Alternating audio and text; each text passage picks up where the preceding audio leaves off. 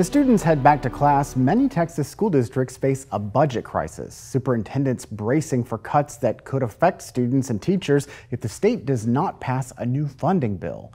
In a special report, investigator Kelly Wiley and education reporter Nabil Remadna dig into the debate as decision makers plan for another school funding fight. You have a teacher and you have a teacher assistant in AISD. We're not making 120,000 a year. This is a very challenging community to you know to be be an educator in and have uh, be a homeowner and to be able to keep your head above water financially. You go, mija. Throw it to me. This is okay. a, a, challenging city to be raising a, a, family of four in. Más alto. ¿Qué quieres que diga? Teachers in AISD right now don't know exactly how much they're going to be making this year. We don't know if we're going to be getting a raise or not. Not because the school district doesn't want to, but because their hands are pretty tied. They have uh, they have these expenses.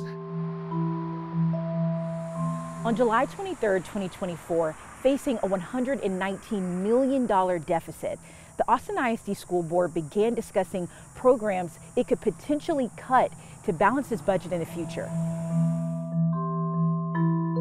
When I was watching it in July, it was very sobering.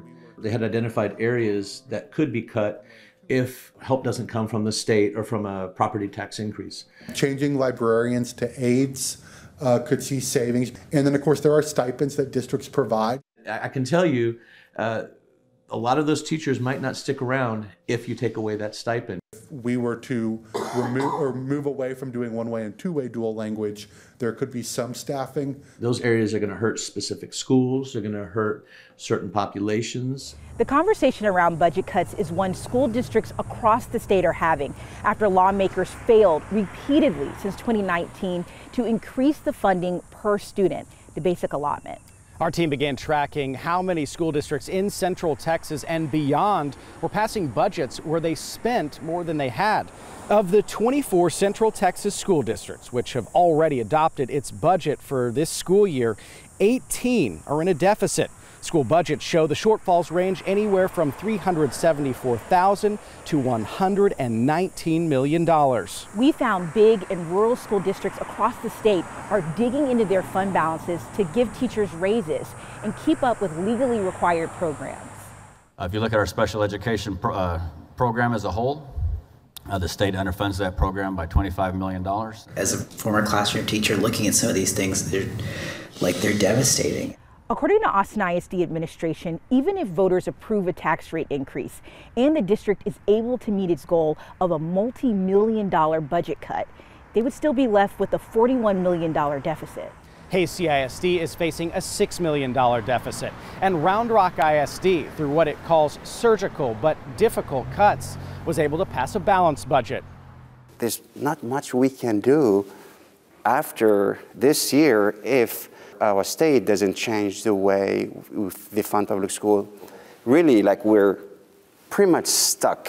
You can make an adjustment and save 22 million, you know, 19 million dollars, but at what cost? We could um, produce harm or introduce harm that, that we just are not um, does that align with our values? If we don't get more money or don't more funding for the state, we won't be able to give raises, for example, to staff and teachers. My hope is that the kids don't feel it.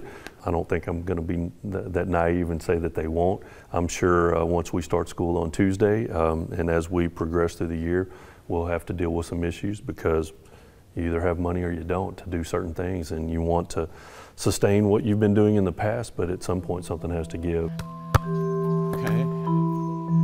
Okay once you make a cut in something, it, if it ever comes back, it sometimes takes years to come back. I just I don't know how it's going to turn out in the end. I really don't.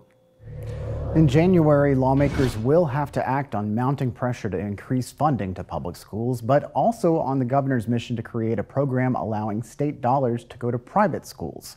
Both priorities fell short in the last legislative session.